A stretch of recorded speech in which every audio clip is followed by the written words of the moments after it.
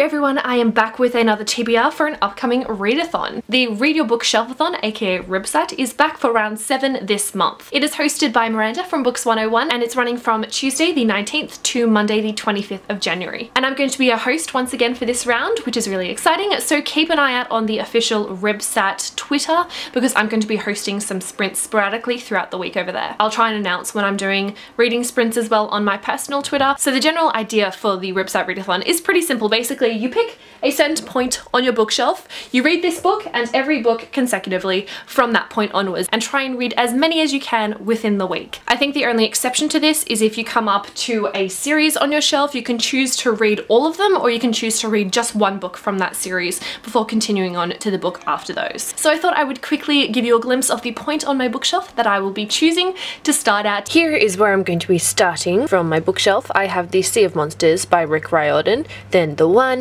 Day 2 by Katie McGarry, Fire Study by Maria V. Snyder, and the reason why I chose this part is because I've been wanting to complete or at least continue on with a lot of series since I have so many that are unread, so this is a wonderful opportunity to do just that. So those are some of the books that are on my potential TBR list for this week, but I think that's about all that I have for this TBR video. I hope you guys enjoyed it. If you are participating as well, I wish you the best of luck during the week, and I guess I will see you guys very soon with another video or on Twitter with some reading sprints. So until then, bye!